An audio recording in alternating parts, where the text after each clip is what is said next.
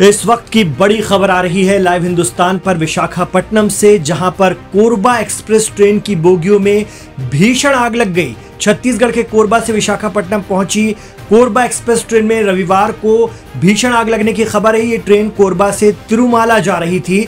जब train station पर रुकी तो इसी दौरान उसमें आग लगने की खबर है।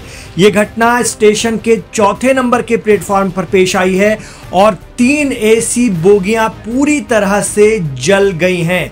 हालाँकि गनीमत ये रही कि इसमें किसी के हताहत होने की अभी तक कोई खबर नहीं है। आग लगने की घटना सुबह 10 बजे के करीब पेश आई है। कहा जा रहा है कि आग बी सेवन बोगी के शौचालय में शॉर्ट सर्किट की वजह से लगी और इसके बाद बी सेवन बोगी पूरी तरह से जल गई। इसके बाद बी सिक्स और एम वन बोगियाँ भी आंशिक रूप से जल गई हैं। रेलवे कर्मचारी आग पर काबू पाने की लगातार कोशिश कर रहे हैं।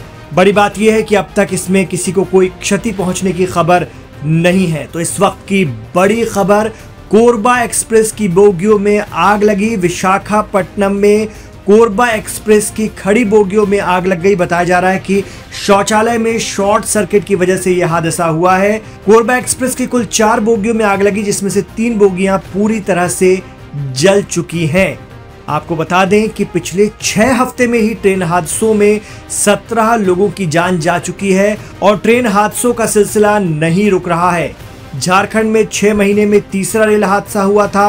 मुंबई हावड़ा मेल के 18 डिब्बे पटरी से उतर गए थे। इस हादसे में दो यात्रियों की मौत हो गई थी 20 से ज़्यादा जख्मी हो गए थे। तीन साल में अगर हम देखें तो कुल 131 रेल हादसे हो गए हैं। आरटीआई के ज़रिए रेलवे की ओर से दी गई जानकारी के मुताबिक 7 जुलाई 2021 से 17 जून 2023 तक देश में 131 ट्रेन दुर्घटनाएँ हो चुकी हैं।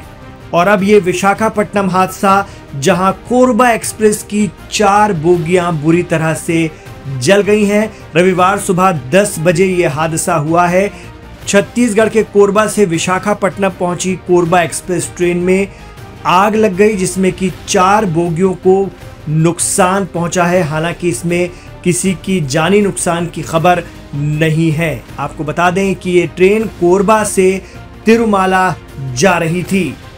बता दें कि 21 जुलाई को भी राजस्थान के अलवर में मालगाड़ी के तीन डिब्बे पटरी से उतर गए थे। 21 जुलाई को ही पश्चिम बंगाल के रानाघाट में मालगाड़ी पटरी से उतरी थी। 26 जुलाई को उड़ीसा के भुवनेश्वर में मालगाड़ी पटरी से उतर गई थी। 29 जुलाई को बिहार के समस्तीपुर में बिहार संपर्क क्रांति के डिब्बे अलग हो गए थे और 30 जुलाई को झारखंड के चक्रधरपुर में हावड़ा से मुंबई जा रही यात्री ट्रेन पटरी से उतर गई थी। तो लगातार रेलवे हादसों का सिलसिला जारी है और अब एक और हादसा, छत्तीसगढ़ के कोरबा से विशाखापट्टनम पहुँची कोरबा एक्सप्रेस ट्रेन की बोगियों में अचानक भीषण आग लग गई। बताया जा रहा है कि शौचालय में शॉर्ट सर्किट के चलते यह दुर्घटना हुई है। बी सेवन बोगी में ये आग लगी। Four bogie express which were stationary in दाइजैक railway station caught fire fortunately at that point of time there was no passenger inside those so there was no loss of life and no injury was caused to any the local fire services authorities immediately responded and uh, the flames were brought under control.